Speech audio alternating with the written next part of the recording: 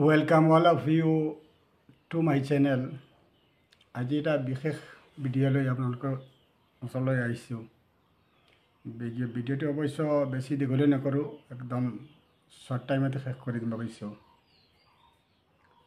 বিষয়টো হ'ল মুৰ্গী আৰু গুটি বসন্ত। এই এইবিলাক হয় আচলতে বছৰেকৰ সকলো ছিজনতে হয় কিন্তু বিশেষকৈ জানুৱাৰী ঠাণ্ডা সময়ৰ পিছত। জানুৱাৰী মাহৰ পৰা ধৰক এপ্ৰিললৈকে বেছি হয়। এইবিলাক হোৱাৰ কিছুমান কাৰণো আছে। বিশেষ বিশেষকৈ সৰু সৰু যিবিলাক মুৰ্গী পোৱালি আছে এইবিলাকৰ বেছি হয়।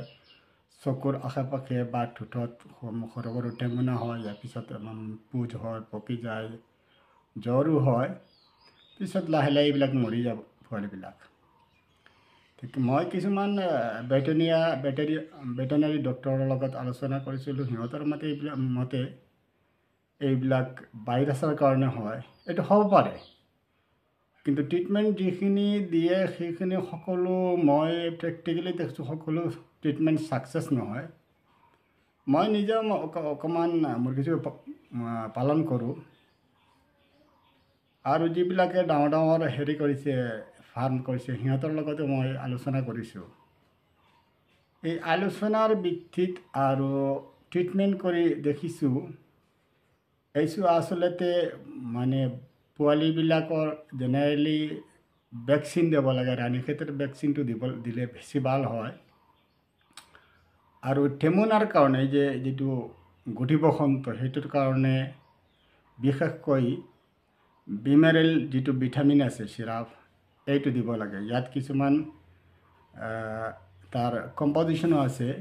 বিশেষকৈ ইয়াত ভিটামিন এটো আছে টুৱেল্ভ থাউজেণ্ড আই ইউ অৰ্থাৎ ইণ্টাৰনেশ্যনেল ইউনিট ভিটামিন ডি ডিটো আছে ছিক্স থাউজেণ্ড ইণ্টাৰনেশ্যনেল ইউনিট আৰু ভিটামিন ই আছে forty eight M G vitamin B টুৱেলভটো আছে টুৱেণ্টি মাইক্ৰগ্ৰাম প্ৰতি এম এলত পাৰ এম এলত মই যিখিনি মই ৰিচাৰ্জ কৰিছোঁ সেইখিনিৰ পৰা দেখিছোঁ আচলতে যদি বডিৰ বডিৰ এণ্টিবডিটো ভাল থাকে তেতিয়াহ'লে এইবিলাকৰ হোৱাৰ বহুত বিৰত থাকে বা নহয় বাচ্চাবিলাক ফুটাৰ পিছত তিনি চাৰিদিন পিছত যদি এসপ্তাহমান পানীৰ লগত মিহলাই খুৱায় তেতিয়াহ'লে এইবিলাক নহয় এই গুটি বসন্তটো আৰু মাজে মাজে খুৱাই থাকিলে অসুবিধা নাই এইবিলাকতো বিৰাট ভিটামিন।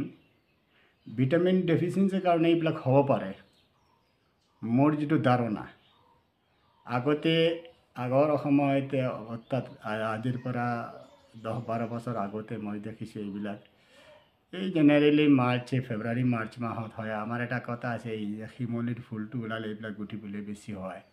কিন্তু আজিকালি আৰু গোটেই বছৰটো হৈ থাকে। যিয়েই নহওক কথাটো হ'ল এইখিনি যদি আপোনালোকে খুৱাই থাকে মুৰ্গী পোৱালীক যদি কোনোবাৰ মানে সৰু সৰু পোৱালীবিলাকৰ হোৱা নাই আগতে খোৱালে ভাল।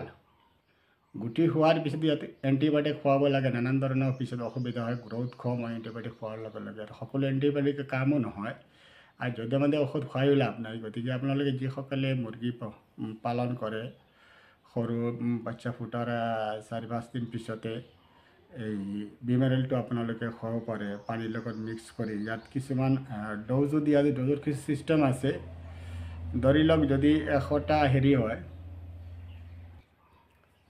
এশটা পোৱালি হ'লে চিকেন তাত আপুনি ফাইভ এম এল দিব পাৰে।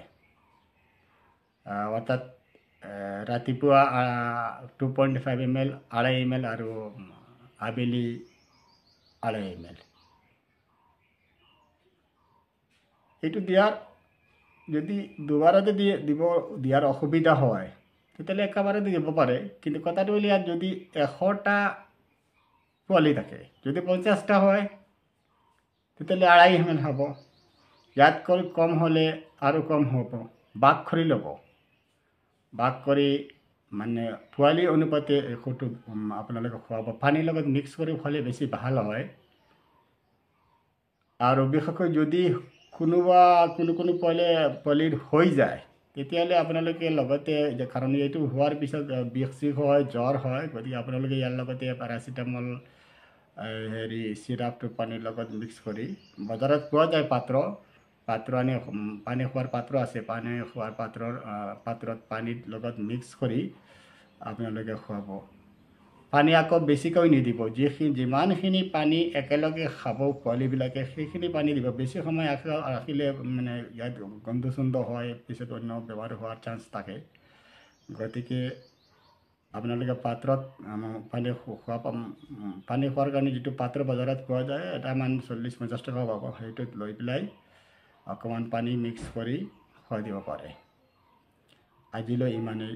এইটো খোৱালে আপোনালোকে আশা কৰোঁ সুফল পাব আৰু পাৰিলে আমাৰ হেৰি চেনেলটো মোৰ চেনেলটো ছাবস্ক্ৰাইব কৰি ল'ব। আৰু